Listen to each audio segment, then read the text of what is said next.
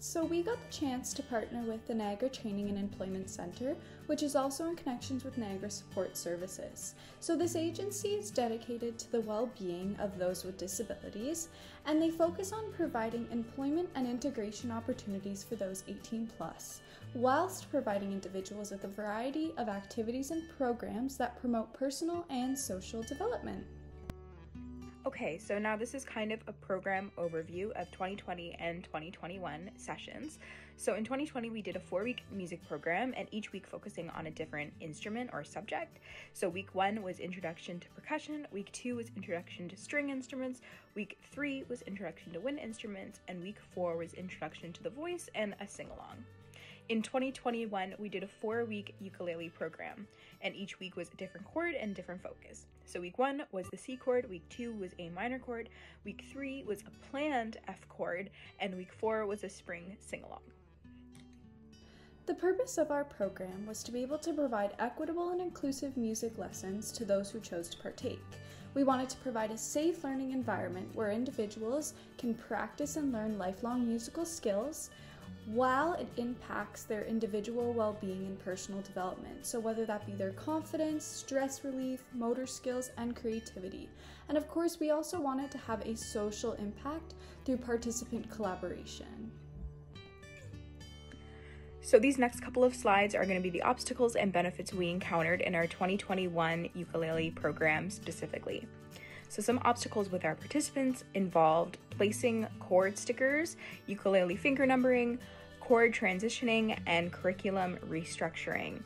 However, some unanticipated obstacles um, we encountered were the loss of participants, having one facilitator in week two for half of the session, um, disheartening feedback from a support we received, and remodeling week three F chord lesson altogether. So, some of the benefits that occurred for not only us but our participants occurred musically, personally, and socially. So, musically, our participants were able to learn two chords, sing and play simultaneously, learn various rhythms and rhythm patterns, learn about how to transition different chords, and composing spring sing alongs as well. Some of the personal benefits that occurred included the joys in learning music, a confidence increase we saw, the cognitive development that occurred, the fun and smiles that we got to have every session, and of course the self discipline that was developed. And finally, some of the social benefits were the teamwork and dedication of learning and playing together, while also being able to pay attention to the thoughts and opinions of those within the virtual platform. Focusing on our theory of change, we utilize the values of equity and inclusion to attempt to empower these individuals for whom the system is not always conforming to. On a macro level, this occurred socially by focusing on collaborative community change, by connecting with others through virtual music learning, and on a micro level, this occurred individually to promote individual music engagement, retainment, and enjoyment while also building self confidence in each individual. Okay, so this program consisted of two facilitators, which was myself and Bella, four sessions times two. So one happened in November, December in 2020, and one happened in February, March of 2021. Um, each session had 6 to 11 participants per session, and that included employees from the NTEC and our supervisor.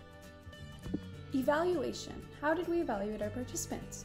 Well, this was through observation, self reporting, note taking, reflections after sessions, some survey questions, a tell all to show us or say one thing they loved, and also regular check ins that occurred pretty much after each slide throughout our sessions. So, some of the key teachings we had through developing this program was flexibility and adaptation through not knowing the participants, modifying every session to cater the needs and abilities of our participants, and the virtual learning aspect. Another key teaching was the communication with each other, with our supervisors, our participants, and during each session as well. And finally, the motivation to keep going, which is even when losing participants, we still had to keep motivated to keep going. Even when participants weren't grasping certain concepts, and we also wanted to keep our motivation up to ensure that our purpose was being met in the end. We'd like to say thank you to listening to our presentation. Um, and if you have any questions, please don't hesitate to reach out.